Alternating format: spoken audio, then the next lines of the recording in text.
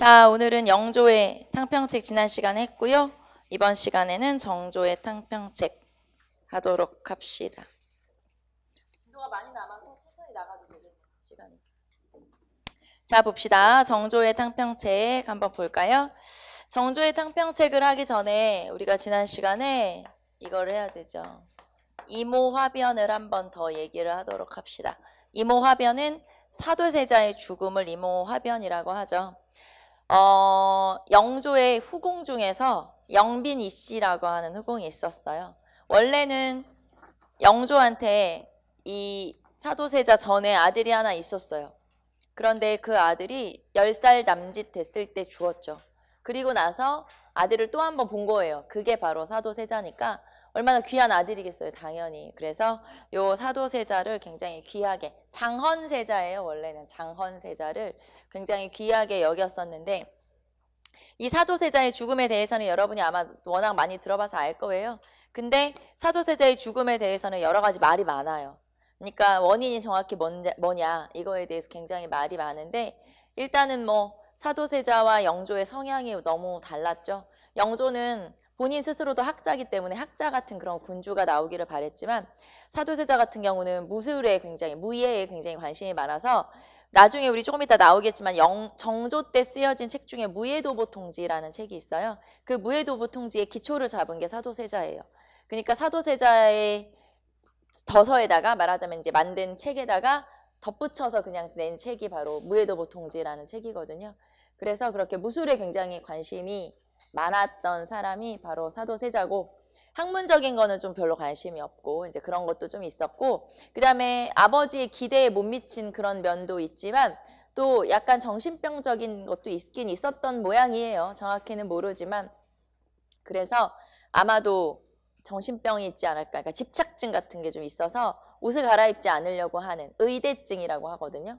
그런 어떤 증상 그러니까 현대의학으로 하면 약간 집착증 같은 그런 거겠죠. 정신병력으로. 그러니까 뭐 그런 게 좀 있었던 모양이에요. 그리고 이제 궁궐에서 사람을 함부로 죽이거나 하는 그런 것도 있었고 그래서 그런 여러 가지가 맞아 떨어져서 결국에는 사도세자에게 이제 또 이런 것도 있었죠. 아버지가 계시 아버지의 허락을 받지 않고 금강산인가 어디 유람을 갔다 온 적도 있었고 아무튼 좀 자기 마음대로 행동하는 그런 것도 좀 있었나 봐요. 그래서 그런 여러 가지가 맞아 떨어져서 결국에는 사도세자한테 영조가 자결하라. 그렇게 이제 명령을 내리 자진하라 이렇게 이제 명령을 내리게 되고 결국에는 사도세자가 스스로 뒤주에 갇히게 되죠. 뒤주 큰 쌀독 같은데 갇히게 되고요. 자 이렇게 뒤주에 갇힌 사도세자가 거의 한 열흘 정도 만에 죽게 되는데 그 사도세자가 죽었을 때 이제 그 뒤를 이어서 왕위에 오른 정조가 11살이었어요. 11살이면 사실 지금으로 하면 초등학교 4학년이면 다 알잖아요. 그러니까 아버지가 죽어가는 모습을 다 이 사도세자, 아니 그 영, 정조는 주변에서 이제 불 보고 그 다음에 사도세자를 용서해달라고 할아버지한테 가서 빌고 아버지한테는 얼른 가서 나와라 이렇게 이제 빌고 이런 일들이 있었죠.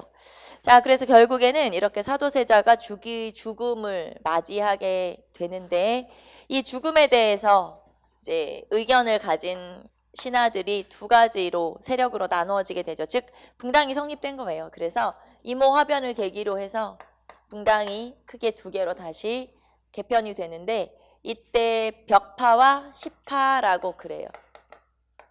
벽파와 시파 라고 하죠. 벽파라고 하는 신하들은 영조를 지지하는 세력이에요. 말하자면 영조가 사도세자를 죽인 거는 어쩌면 당연한 거다라고 보는 게 바로 벽파이고요. 자, 그 다음에 여기는 노론의 대부분이 당연히 벽파를 형성하고 있겠죠. 자, 그 다음에 시파는 사도세자를 동정하는 세력이에요. 그래서 여기에 해당하는 사람들은 노론의 일부와 그 다음에 소론, 그 다음에 남인 이런 세력들인데 이 사도세자의 죽음에는 붕당 정치도 약간은 영향이 있었던 것 같아요. 왜냐하면 경종을 뒤에서 지지했던 건 소론과 남인이었죠.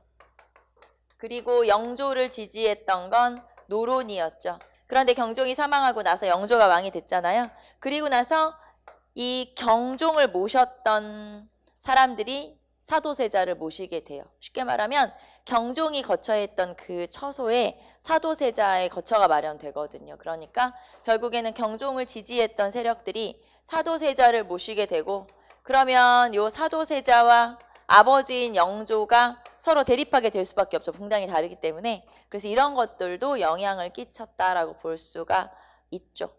자, 그래서 어쨌든 이렇게 벽파와 시파로 나눠지는데 여기에 또 하나 해경궁홍씨라고 하는 사도세자의 부인이 있죠. 자, 해경궁홍씨가 한중록이라는 회고록을 쓰게 돼요. 이 해경궁홍씨가 나중에 한 환갑쯤을 맞이할 때 동갑이거든요, 사도세자랑. 그러니까 이제 해경궁홍씨가 환갑이면 원래 살아있었으면 사도세자가 환갑이었을 거 아니에요. 그래서 어쨌든 해경궁 홍씨의 환갑 즈음을 맞이해서 이 해경궁 홍씨가 회고록을 쓰게 돼요. 해경궁 홍씨는 정조의 생모. 자, 회고록을 쓰게 되는데 그 회고록에 보면 이 한중록이라는 글에 자기 남편이 어떻게 죽었는지를 아주 자세하게 서술을 해놨는데 결국에는 이 자기 남편이 죽은 얘기를 굉장히 자기 남편의 잘못이다라고 기록을 하고 있거든요. 그 이유는 해경궁 홍씨의 집안이 이제 홍씨 집안이 결국에는 사도세자를 죽음에 이르게 하는 집안이거든요. 말하자면. 그러니까 붕당이 노론인 거죠 말하자면. 그래서 이 노론 계열이 사도세자와 반대의 계열이었고 결국에는 사도세자를 몰아붙여서 죽임에 이르게 죽음에 이르게 하는 그 집안 중에 하나였는데 그러다 보니까 사도세자 이 회경고 홍씨 입장에서는 자기 남편을 나쁘게 몰아가서 자기 집안을 살린 거죠 말하자면. 그래서 결국에는 해경궁 홍씨가 한중록이라는 글에서 이 사도세자의 잘못 이상했었다. 이런 것들을 아주 자세히 기록하고 있어서 지금 현재는 이 한종록이라는 글이 100% 진짜다라고 잘 믿지 않아요. 왜냐하면 이런 배경을 가지고 있는 그런 글이기 때문에 어 그리고 해경궁 씨의 환갑잔치를 맞이하여 그 사도세자의 정조가 사도세자의 능을 이장을 하고 이제 그 등에 참배를 자주 왔다 갔다 했는데 이 사도세자가 사도세자의 무덤에서 무덤에 참배를 하러 가서 환갑잔치를 해요. 그러니까 남편 무덤 가서 창갑잔치를 한 거죠. 이것도 좀 이상한 거죠. 그러니까 정조 같은 경우는 자기 아버지의 명예 회복을 위해서 굉장히 노력을 많이 했던 그런 왕이라고 볼 수가 있죠. 뭐 그 이외에 여러 가지 비사가 있으나 이 19금이기 때문에 몇 가지는 제가 얘기를 해줄 수가 없어서 아무튼 나중에 여러분한테 기회가 되면 자 어쨌든 이모화변이라고 하는 걸로 인해서 벽파와 시파로 나눠지고요. 여기서는 여러분이 이걸 기억하면 되겠죠. 노론. 그 다음에 노론 일부와 소론 남인 이렇게 기억하시면 되겠죠. 자 그러면 봅시다. 이모 화변 이후에 이제 나중에 나중에 한참 시간이 지나서 정조가 왕이 됐어요. 그럼 정조 입장에서는 벽파와 시파 중에 누구를 등용을 했을까요? 당연히 시파를 우리 아버지를 불쌍하게 여겼던 이런 사람들을 등용을 했겠죠. 그래서 이 시파가 나중에 정조 시대에 등용이 돼서 이 정조가 시파를 아끼게 되죠. 말하자면 그리고 이제 여기 남인들 들어가잖아요. 이런 남인들을 정계에 등용, 등용시켰던 게 바로 정조인 거죠. 그래서 정조 시기는 남인을 등용시켜서 이 남인과 함께 정치를 했다라고 볼 수 있는데 제가 이렇게 말하면 여러분이 아 그러면은 정조 때 남인만 있었구나라고 생각하지만 실제 기득권을 가지고 있던 붕당은 여전히 노론이에요. 왜냐면 할아버지 때부터 노론이 기득권을 가진 붕당이었기 때문에 그러니까 노론이 핵심으로 있고 이 사람들이 힘이 제일 세고 이 사람들과 균형을 맞추기 위해서 정조는 남인을 등용한 거예요. 그리고 그 남인 중에 가장 대표적인 인물이 여러분 제일 많이 들어본 채제공 그리고 정약용 이런 사람들이 남인이에요. 그래서 그 사람들을 등용해서 이 노론과 지금 세력이 너무 센 이 노론과 균형을 맞추기 위한 노력을 했었죠. 이게 이제 어떻게 보면 탕평책이라고 볼 수가 있는 거예요. 자, 그래서 정조의 탕평책이라고 하는 건 일단 아까 말했죠. 남인을 등용해서 균형을 맞추는 거, 거기에다가 왕권을 강화시키는 거. 왜냐하면 정조 같은 경우는 본인이 사도세자의 아들이기 때문에 이 세손 시절부터도 계속 위협을 받았어요. 심지어는 세손이 살고 있는 동궁에 자객이 든 게 든 적도 있었기 때문에 결국에는 이 정조를 죽이려고 했었다 이 말이에요. 당연히 누가 죽이려고 했겠어요. 상대 붕당이 죽이려고 했겠죠. 우리가 앞에서 숙종 말년에 뭐라고 배웠냐면 그전에는 뭐 예론이라든가 이런 걸 가지고 싸웠으면 숙종 이후부터는 왕위 쟁탈전에 왕이 직접 끼어들기도 해서 이 왕위 쟁탈전도 붕당의 쟁점이 되기도 한다. 왕위 계승이 왕위 계승이 붕당의 쟁점이 되기도 한다라고 했는데 자, 왕도 하나의 붕당의 일원으로 본 거예요. 그래서 우리 당에서 왕이 나오지 않으면 상대 당에서 왕이 나올 거고 그러면 우리 붕당은 다 없어지겠죠. 결국에는. 피해를 볼 수밖에 없겠죠. 그래서 결국에는 우리 붕당이 아닌 저 왕을 제거해야 되는 거예요. 그런 식으로 왕이 계승과도 관련한 게 이 붕당의 쟁점이 돼버리는 거죠. 자, 어쨌든 결국에는 이제 정조가 18을 등용해서 이 사람들을 통해서 노론을 견제하려고 했었다. 이게 정조 때의 탕평책이고 그러는 과정에서 본인의 왕권을 강화시키는 노력을 했었다. 그래서 정조의 정책들은 왕권 강화 정책이다. 이렇게 보시면 되겠죠. 자, 그러면 590페이지 보시면 정조의 탕평 정치라고 되어 있고요. 자, 정조의 탕평책을 한마디로 얘기하면 준론 탕평이라고 볼 수 있어요. 정조의 탕평책을 한마디로 얘기하면 준론 탕평이다. 자, 준론 탕평이라는 건 그 전에 할아버지 때 탕평책은 완론탕평이었죠. 영조의 탕평책은 완론탕평. 그러면 완론탕평이라고 하는 건 온건하고 타협적인 인물을 골고루 등용하는 게 완론탕평이면 준론탕평이라는 건 붕당 간의 시비를 명확하게 가리는 그런 탕평책이에요. 말하자면 각 붕당을 정확하게 시비를 가린다라는 게 너 잘했냐 잘못했냐를 명확하게 가리는 거죠. 그래서 붕당의 시비를 가리는 적극적 탕평책 또는 깐깐한 탕평책이 바로 준론 탕평이에요. 자, 그래서 붕당의 시비를 가리는 적극적 탕평책이죠. 붕당의 시비를 가리는 적극적 탕평책이다. 자, 붕당의 시비를 가리는 적극적 탕평책이 실시되었다. 라고 볼 수 있죠. 그래서 이렇게 적극적 탕평책이다라는 게 바로 준론탕평이고요. 이런 준론탕평에 맞서서 결국 이제 같이 실시된 게 왕권을 강화하는 거죠. 그래서 이 정조의 정책은 준론탕평이면서 결국에는 왕권을 강화하는 정책들이다. 그래서 다 왕권 강화를 목표로 하는 그런 정책들이 실시가 되거든요. 자, 그래서 가로 2번 보시면 정조의 탕평책 나와 있고요. 자, 그러면서도 18을 등용했다라는 거 알 수 있죠. 앞에서 18을 등용했다. 그럼 결국에는 18을 등용한다는 게 붕당으로 따지면 누구를 등용하는 거예요? 남인 계열을 등용하는 거죠. 그래서 남인 계열을 대거 등용을 하게 되죠. 자, 남인과 그 다음에 소론과 그리고 노론의 일부가 18예요. 자, 그런데 이 중에서 특히 남인. 그래서 여기에 해당하는 사람이 최재공, 그 다음에 정약용. 이 사람들이 가장 대표적인 남인에 해당되죠. 정혜경 같은 경우는 11살 차이가 나요. 그러니까 자기가 자기 아버지 때문에 힘들어할 때 11살 때 아까 그거 봤다고 그랬죠. 그때 자기 아버지가 돌아가신 해에 태어난 사람이에요. 정약용이. 그러니까 거기에도 좀 약간 의미를 두고 그리고 정약용이 워낙 똘똘하니까 이 정약용을 등용하여 굉장히 단련을 많이 시키죠. 그래서 성균관에서 공부를 하는데 속과에 합격을 해야 되잖아요. 말하자면 속과 합격하고 이제 성균관으로 왔겠죠. 그런데 어, 이 정약용이 여러 번 대과에서 치렀음에도 불구하고 합격을 빨리 시키질 않아요. 답안지만 보면 얘는 합격이야. 1등이야. 그런데 장원을 주질 않죠. 합격을 빨리 시키질 않아요. 그 이유는 계속 여러 번 시험을 응시하게 함으로써 단련을 시킨 거예요. 그러면서 이제 한 시간이 좀 지난 후에 그 뒤에 이제 합격을 시키죠. 그러면서 벼슬을 주, 주고 그리고 내가 굉장히 예뻐하는 신하니까 얘를 빨리 빨리 승진시킬 만도 한데 굉장히 이제 좀 여러 관직을 두루 거치게 하면서 왜냐면 너무 빨리 승진하거나 너무 주목을 받으면 노론의 타겟이 될까 봐. 그래서 그렇게 좀 약간 그런 식으로 굉장히 예뻐했던 신하가 바로 정약용이에요. 그래서 정약용을 그러니까 정약용에게 책 선물을 되게 많이 했었다고 제가 전에 얘기했죠. 그래서 책을 굉장히 많이 선물로 내려서 계속 단련을 시킨 거예요. 공부를 하도록. 그렇게 아꼈던 신하가 바로 정약용이라고 하는 사람이고 최재공은 정승까지 올랐던 사람이니까 정승이었던 최재공과 브레인이었던 정약용이 팀을 이뤄서 정조가 실시하고 싶은 여러 가지 정책들을 실제로 실시하게 만, 시행할 수 있도록 만든 게 바로 이 남인 계열이다 이렇게 볼 수가 있겠죠.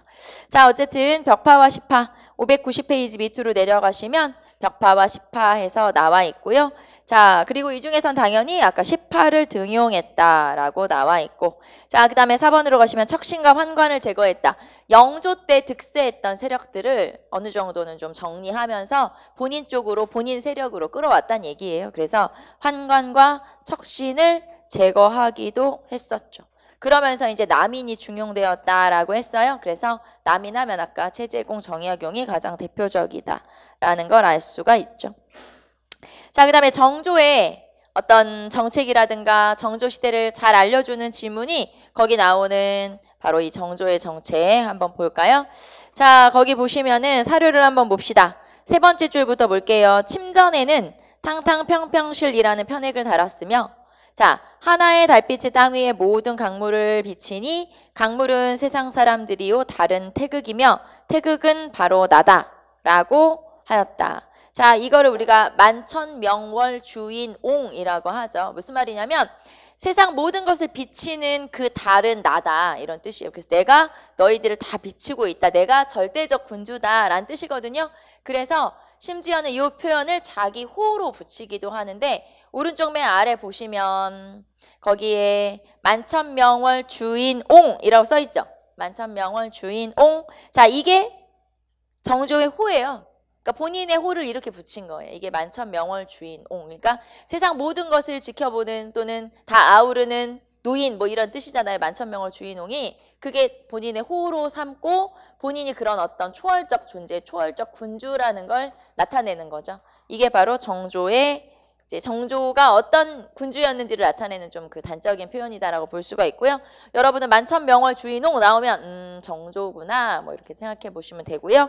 자 그리고 거기 보시면은 창덕궁 존덕전 현판이다라고 했는데 창덕궁에 가면은 여러분 창덕궁 가봤는지 모르는 요즘은 야간 개장도 하고 하니까 한번 가보세요. 창덕궁이 거의 원형 그대로 보존되어 있는 굉장히 중요한 궁궐 중의 하나여서 어, 세계문화유산으로 지정된 궁궐인데 이 창덕궁 안쪽으로 가면은 후원이 있어요. 후원.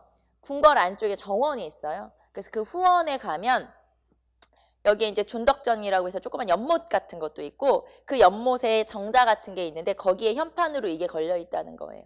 그리고 그 연못의 맞은편에 거기 사진 보시면 주함루라고 되어 있죠. 그 주함루라는 건물로 올라가면 규장각이 있어요. 그래서 정조가 이제 학문 연구 기관 및 도서관으로 만들었던 건물이 주함루라고 하는 건물이죠. 규장각이죠. 규장각 그런 관청을 설치했었죠. 자 어쨌든 만천명월 주인홍 나오면 아 이게 정조구나 이렇게 생각하시면 되고 이 만천명월 주인홍이 아까 우리 사료에서 읽은 뭐 하나의 달빛이 모든 걸 비치는데 뭐 그 태극은 나다 뭐 이게 바로 만천명월 주인홍이라는 뜻이니까 이런 표현 나오면 여러분 체크하시면 되고요. 자 그다음에 왕권 강화에 추진해서 앞에서 우리가 여러 가지 왕권 강화 정책이 있다라고 얘기했죠. 자 왕권 강화 정책을 한번 체크를 해보도록 할까요?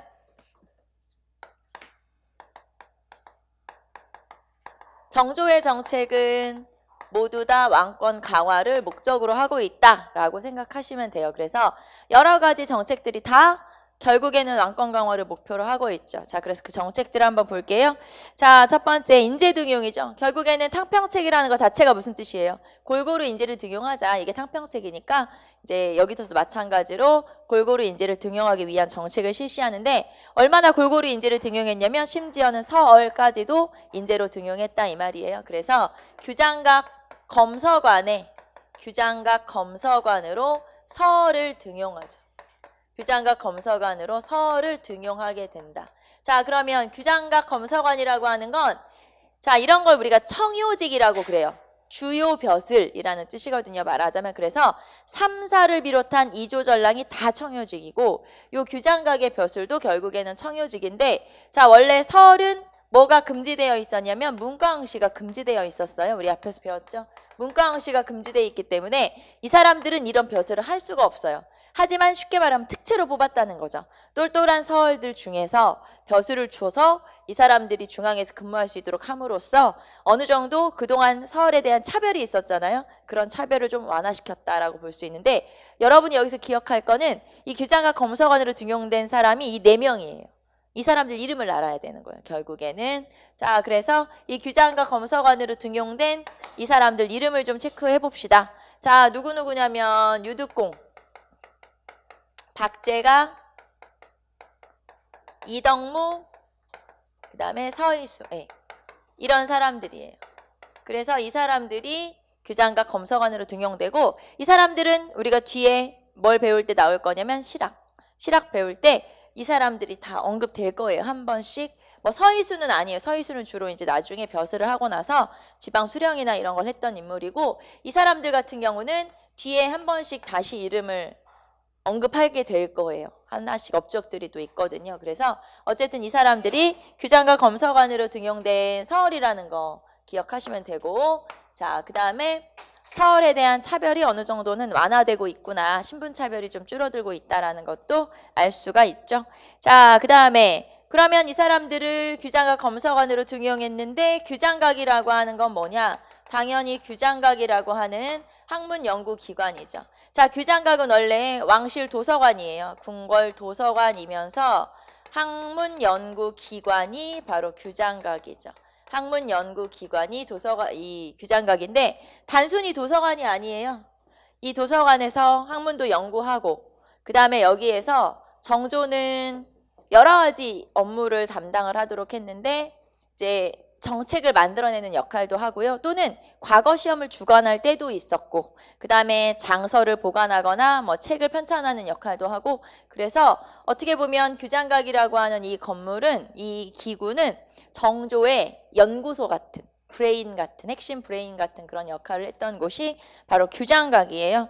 자 거기 보시면 붕당의 비대를 막기 위해서 그러니까 붕당이 너무 커지는 걸 막기 위해서 본인의 세력을 하나 키운 거죠. 그게 바로 규장각이라고 볼 수 있고 자 거기 보시면은 본래는 왕실의 왕의 글과 책을 수집 보관 도서관이죠. 그러니까 하지만 여기에서 자 비서실 그 다음에 문안기능 그리고 과거 시험 주관 문신 교육 이런 여러 가지 정책 뭐 정책을 결정한다거나 이런 여러 가지 임무를 맡도록 함으로써 왕을 뒷받침하는 최고 브레인 역할을 맡겼던 게 바로 규장각이죠. 그래서 규장각이라고 하는 기구가 이 정조를 뒷받침하는 중요 기구 중의 하나구나 이렇게 생각하시면 되고요. 자, 그 다음에 3번으로 내려가시면 초계 문신제. 자, 이것도 정조를 물어볼 때 지문으로 되게 잘 나오는 제도가 바로 초계문신제라고 하죠. 자, 초계문신제는 40세 이하의 37세 이상의 젊은 37세 이하의 젊은 당하관을 재교육시키는 거예요. 자, 37세 이하의 당하관을 재교육시키는 것. 37세 이하의 당화관을 재교육시킨다.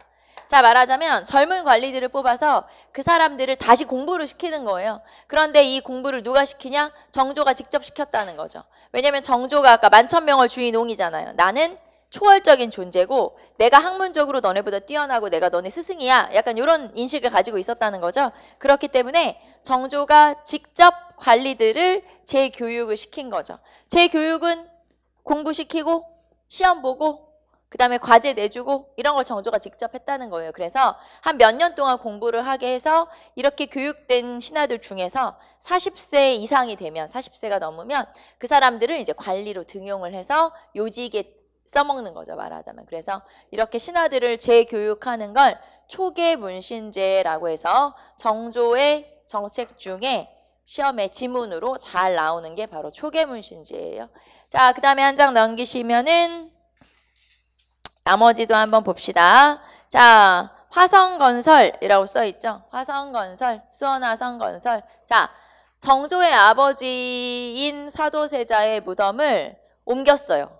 말하자면 이쪽으로 이제 이장을 한 거죠. 그리고 그 주변에다가 계획 도시 하나를 건설한 거죠. 말하자면 자 다른 곳에 있었던 사도세자의 아버지의 무덤은 원래는 무덤이었는데 이걸 이제 약간 릉으로 원으로 이제 격상을 시켜서 옮기게 돼요. 그래서 현룡원이라고 하는데 여기를 이제 이장을 하면서 여기 살던 백성들을 옮겨서 다른 데 살게 해야 될 거 아니에요. 그래서 그 백성들이 사는 지역에다가 새로 도시를 하나 만들어 준 거예요. 계획 도시 하나를 건설을 하게 된 거죠. 그게 바로 수원 화성이고 이 계획 도시를 건설하면서 이 도시 주변에 나성을 쌓았어요. 쉽게 말하면 도시를 삥 둘러서 성을 쌓았는데 이 성을 쌓는 방법이 서양식 근대의 서양식 축성 기법과 동양식 축성 기법을 적절하게 사용해서 공격 공격과 방어가 다 가능한 그런 나성을 쌓은 거예요. 그 성을 수원화성이라고 우리가 보통 얘기하죠. 화성을 쌓았죠.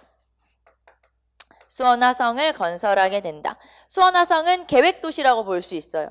그래서 그 안에 아까 말했던 것처럼 공격과 방어가 가능한 그런 서양과 동양의 축성 방법을 적절히 활용한 성을 하나 쌓게 되는데 이 성이 세계문화유산으로 지정이 되어 있죠.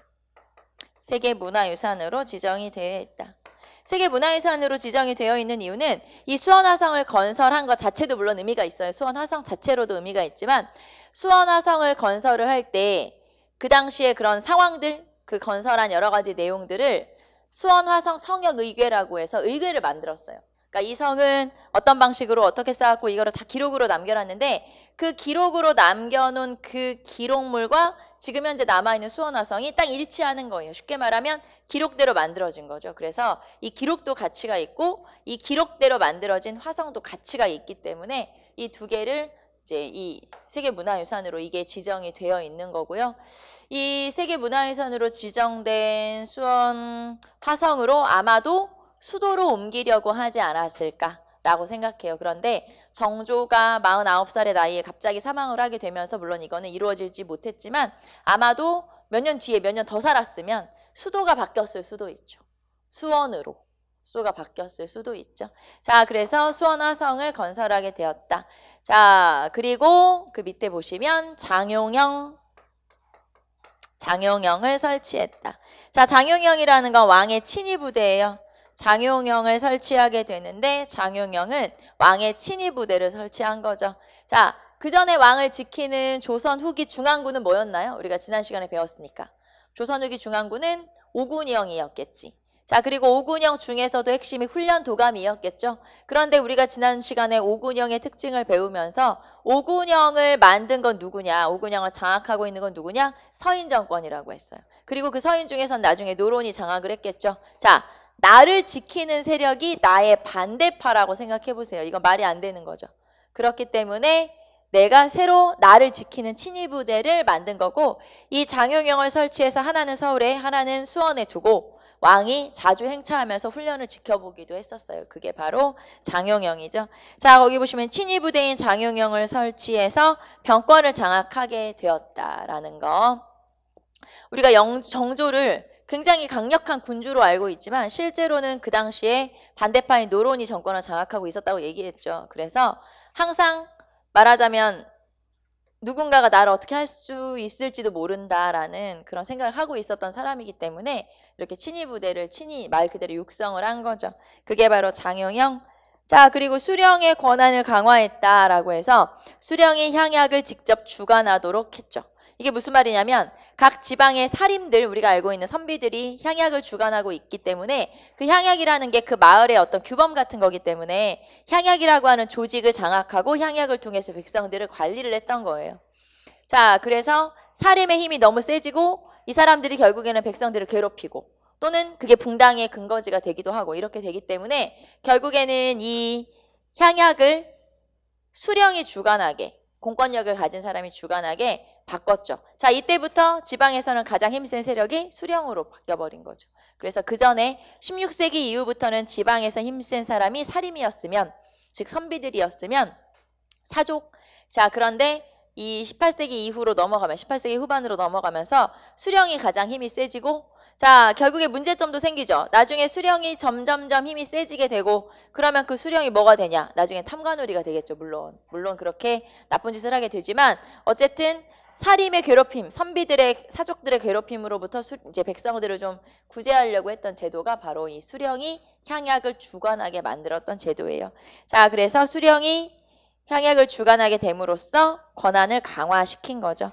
자, 이런 정책을 실시했던 게 이제 정조가 왕권을 강화하는 여러 가지 정책이 있었고요. 자, 그다음에 문물제도 정비라고 해서 이 문물제도 정비는 이제 개혁안들이라고 볼 수가 있겠죠. 자, 그래서 문물제도 정비로 가봅시다. 자, 이 문물제도 정비 중에서 가장 시험에 많이 나오는 건 신해통공이 되겠죠. 아무래도 신해통공, 통공정책. 자, 신해통공 또는 통공정책이라고 그래요. 자, 신해통공이라고 하는 건 시전상인의 특권이었던 금난전권을 폐지한 사건이에요. 금난전권을 폐지한 거다. 자, 요 금난전권이라고 하는 건 시전상인들이 갖는 특권이었고요. 자, 난전을 금할 수 있는 권리였는데 이 난전을 금할 수 있는 금난전권을 나중에 시현상인들이 너무 함부로 남용을 하게 되죠. 자, 그러자 조금 더 자유로운 상공업의 발전을 위해서 이 시현상인들의 권한을 폐지해버린 사건이 바로 이 금, 이제 신해통공이고, 자, 단 유기전을 제외한 모든 시전 상인의 금난 조건을 폐지한 건 아니에요. 유기전을 제외한 나머지 시전 상인들의 권한을 없애버린 거고 자 그러면 시전 상인들의 권한을 없앴다? 이 뒤로는 상업활동이 자유로워졌겠죠. 그래서 훨씬 더 상업활동이 자유로워지면서 난전의 활동이 보장받게 되는 그런 시기가 바로 신해통공 그런 사건이 신해통공이다라고 볼 수 있고요. 자, 그 다음에 공장안을 폐지하게 되죠.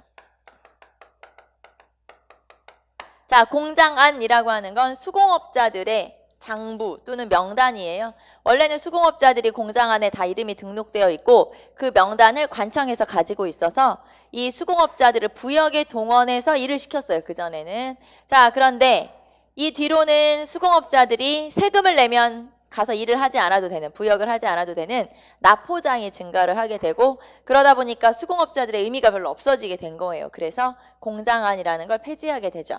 지금 이 시내통공이라든가 공장안 폐지는 뒤에 우리가 경제 파트 가면은 여러분 조금 더 배경하고 자세히 하게 될 거예요. 자, 그래서 공장안 폐지 까지 한번 보시면 되고요.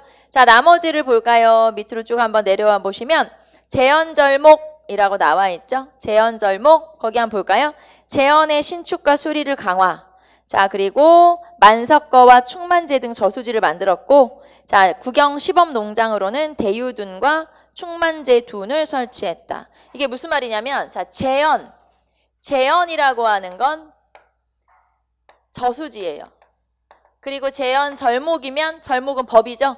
저수지에 관련된 법을 만들었다는 뜻인데 자 저수지를 만들어 놓으면 이 저수지를 어떤 특정 인물들이 독점하는 경우가 있어요. 그래서 그렇게 저수지를 특정 몇몇이 몇몇 몇몇이 독점하지 못하도록 하는 법을 만들었어요. 그런 걸 재현 절목이라고 하고 자 특히 수원화성을 건설하면서 수원화성 근처에 구경 저수지를 만든 거예요. 그리고 거기에 농장을 만들어서 구경 농장을 만들어서 백성들이 농사를 지어서 살 수 있게 그리고 그 옆에는 저수지를 만들어서 활용을 할 수 있게 지금도 이때 저수지가 남아 있거든요. 저수지들이 남아 있을 정도로 이 이제 이런 식으로 시범으로 운영을 했었는데 그거와 관련된 법을 만든 게 바로 재현절목. 그래서 특정 몇몇이 몇몇이 저수지를 몇몇 명이 저수지를 독점하지 못하도록 특정 사람이 저수지를 독점하지 못하도록 하는 법을 만들었어요. 그런 걸 재현절목이라고 하죠.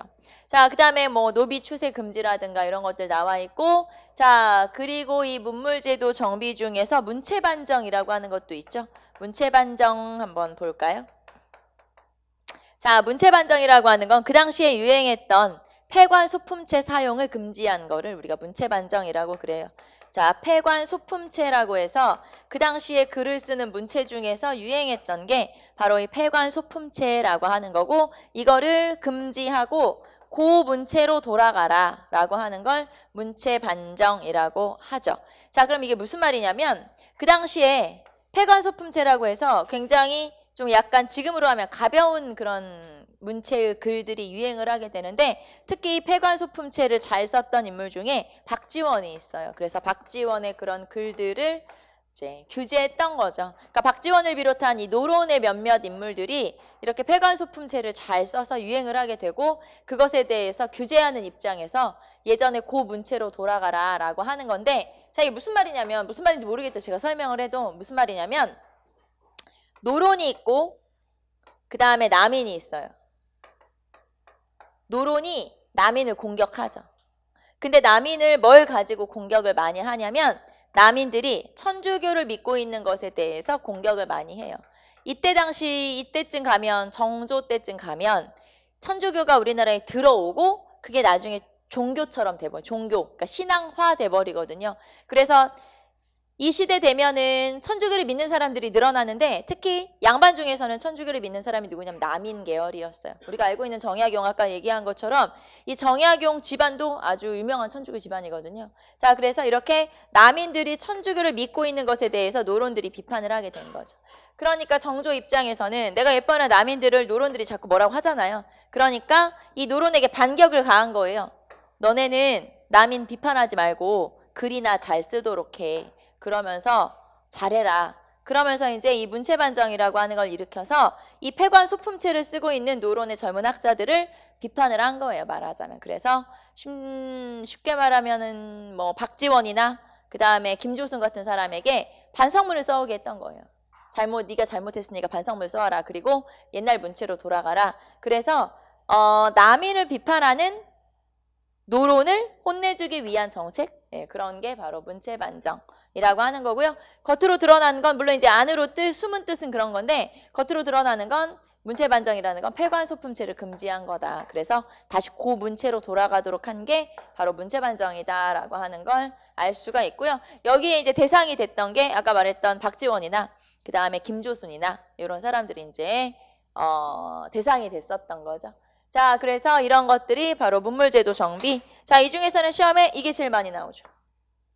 신해통공이 시험의 지문으로는 가장 많이 나온다라는 걸 알아두시면 되겠죠. 자, 그 다음에 뭐 규장각, 장용형 이런 거 제가 설명 안 해도 당연히 중요하다라는 걸 알 수가 있고요. 자, 그 다음에 이제 어, 편찬으로 한번 가볼까요? 편찬. 편찬은 저서. 앞에서 우리가 영조 때 편찬된 책들과 정조 때 편찬된 책들을 좀 구별하면 된다라고 했죠. 자, 그래서 592페이지 맨 마지막에 보시면 편찬사업 및 문물제도 정비라고 나와 있어요. 봅시다. 중국에서 고금도서 집성을 수입했죠. 자, 중국에서 수입했다는 건 이거는 우리나라 책 아니고요. 중국 책이에요. 중국에서 책을 가지고 들어왔는데 그 당시에 중국에서 이렇게 책들을 편찬하고 서적을 정리하는 게 유행이었거든요. 그러지 이제 그러면서 이런 많은 책들을 수입을 했었다. 자, 그래서 고금 도서 집성을 수입한 거고요.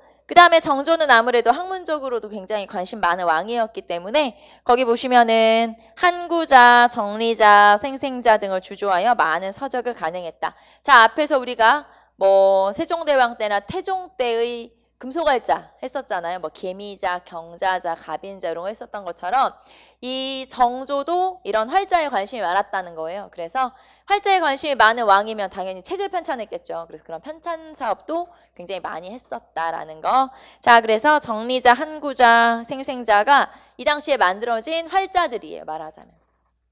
자, 그리고 책들을 편찬하게 되는데 593페이지로 한번 넘어가 볼까요? 자, 거기 보시면은 자, 대전 통편 법전이 가장 중요하다고 우리 지난 시간에 얘기했었죠. 그래서 법전은 알아야 된다. 대전 통편이 편찬되었다라는 거. 자, 대전 통편이면 그 전에 우리나라의 헌법과 같은 경국대전 거기에다가 영조 때 다시 개편된 게 속대전이죠. 두 개를 합본한 거라고 생각하시면 돼요. 경국대전과 속대전을 합본으로 다시 편찬한 게 대전 통편, 그러니까 통째로 편찬했다 이런 뜻이에요. 그래서 대전 통편. 자, 그 다음에 동문휘고. 그 다음에 탁지지, 추관지, 규장전운, 자 그리고 무예도보통지 체크 한번 해보시고 앞에서 제가 무예도보통지의 기초를 다진 건 사도세자라고 얘기했고 사도세자가 만들어 놓은 그런 내용에다가 플러스 시켜가지고 조금 더 덧붙여서 책으로 편찬한 게 바로 무예도보통지인데 이 무예도보통지가 의미가 있는 건 그 전에 우리가 병법서, 뭐 병장도설 이런 책들이 있었어요. 앞에 조선 전기에. 그런 책들은 말 그대로 책으로 서술만 해놓은 거잖아요. 글로만. 그런데 무예도보 통지는 병법에 대해서 직접 그림으로 설명을 하고 있어요. 그래서 하나하나 어떤 그 다, 뭐라고 해야 돼? 자세? 어떤 그런 병법에 관련된 그런 무술의 자세 등을 그림으로 설명을 하고 있다는 게 굉장히 가독성이 좋잖아요. 이렇게 눈에 딱 들어오잖아. 그래서 의미가 있는 책이 바로 무예도보 통지라고 하는 책이고요. 작년에 세계 기록문화유산으로 지정된 것들이 우리나라에 여러 개 있었어요. 예를 들면 뭐 통신사 기록문, 국채부상운동 기록문 뭐 이런 것들이 이제 세계 기록문화유산으로 우리나라에서 지정이 됐었는데 북한에서도 세계 기록문화유산을 처음으로 지정을 받았거든요. 그게 바로 이 무예도보 통지예요. 무예도보 통지가 기록문화유산으로 지정이 되면서 제가 그냥 기사로 읽은 거예요. 제가 읽은 기사만 여러분한테 서, 소개를 해주면 북한에서 이 무예도 통지를 가지고 영화를 만들었대요. 그러니까 아까 무술을 하는 거를 그림으로 설명한 게 무예도보 통지라고 했잖아요. 그거를 영화로 만들어서 요거와 요거를 같이 이제 세계 문화 기록 문화 유산에 신청을 했었나 봐요. 그래서 북한 쪽에서는 처음으로 세계 기록 문화 유산으로 지정된 게 바로 이 무예도보 통지. 그래서 무예도보 통지까지 여러분이 알아두시면 되겠죠. 자, 그 다음에 홍제전서. 정조의 문집이에요. 자, 아까 정조가 학문적으로 굉장히 뛰어난 학자라고 했는데 학자기 때문에 본인의 시, 본인이 지은 글들을 엮은 전집이 있어요. 보통 학자들은 그게 홍제전서라고 하는 문집. 그래서 정조의 개인적 문집이 바로 홍제전서라고 하는 거고 자, 그다음에 일성록. 자, 이것도 세계 기록문화유산. 지금 이 중에서 세계 기록문화유산 기록 지정된 게 그러니까 무해도부 통지하고 일성록하고 자, 일성록 같은 경우는 왕이 세손 시절부터 쓰기 시작한 일기예요. 자, 그런데 이게 단순히 그냥 하루의 일과를 나타낸 일기가 아니고 그 당시에 국내외 정세를 굉장히 자세하게 기록한 문서고 그 다음에 이거를 본인이 왕이 된 뒤에도 쓰기 시작했고 그 다음에 정조의 뒤를 이은 왕들, 후대의 왕들도 계속 이어서 일성록이라는 왕의 일기를 쓰기 시작했죠. 그래서 이게 그 당시에 국내외 정세를 잘 알 수 있는 기록이다라고 해서 세계 기록문화유산으로 지정이 되어 있는 게 바로 일성록이라고 하는 거예요. 그래서 일성록까지 알아두시면 되겠죠. 대전 통편 그 다음에 나머지 뭐 동문이고 탁지지 추간지 뭐 등등 여러 가지가 있고 그 다음에 무예도부 통지 중요하고 홍제전서 그리고 일성록 이런 책들 기억하시면 되고 자 책을 이렇게 자세히 설명하는 이유는 보통은 영정조 시대의 책을 골라라 이런 문제들이 많이 나와요 정조 때 편찬된 책이냐 영조 때 편찬된 책이냐 요거를 물어보기 때문에 두 개를 좀 구분해라 이 말이에요. 그래서 체크 한번 해보시면 되고요. 자 그러면 이제 정조의 정책의 탕평책의 한계 한번 봅시다. 자 정조가 강력한 왕권을 통해 기르면서 그 다음에 붕당의 잘잘못을 가리는 준론탕평을 실시했죠. 자 그러면 정조 때 준론 탕평을 실시하면서 붕당이 사라졌나요? 붕당 자체가 사라졌다? 그건 아니겠죠.